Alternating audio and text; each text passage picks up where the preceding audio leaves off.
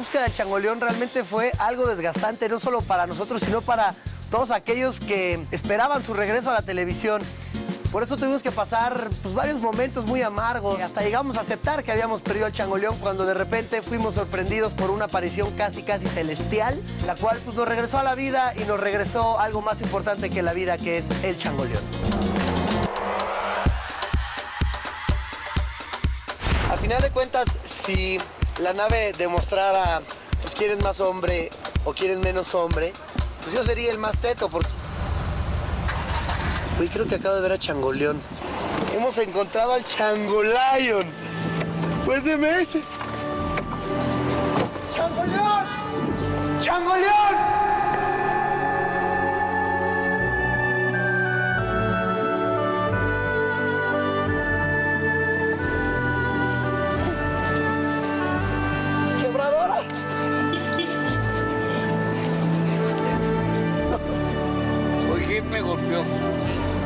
No saber.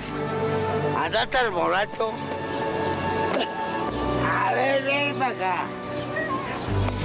¿Cómo estás, mi Changoleón? Te extrañábamos, Changoleón. Changoleón, ¿dónde estabas? Cuando andaba en Seúl, en la universidad. Pensábamos que ya te habías moronga, Changoleón, pero andas acá bien vivaracho. ¿Cómo no? Arigato, guachinangolicia, gato tururu. Arigato, guachinangolicia, gato tururu. ¿Qué andabas haciendo? ¿Dónde te habías metido, Changoleón? Con niños. ¿Andabas haciendo niños entonces? ¿Y dónde están? ¿Dónde los dejaste? Ahí va uno. Hijo de Changoleón.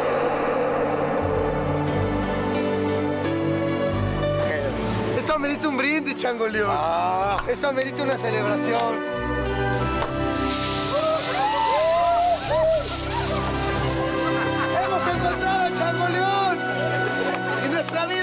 Sentido una vez más.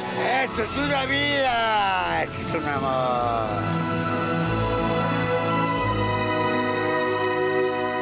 San Lucas, mi Changoleón.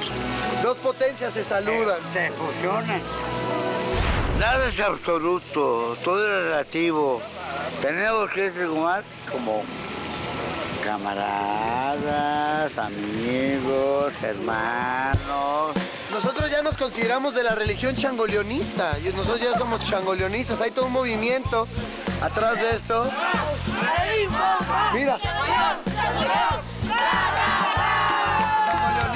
Un aplauso para Changoleón.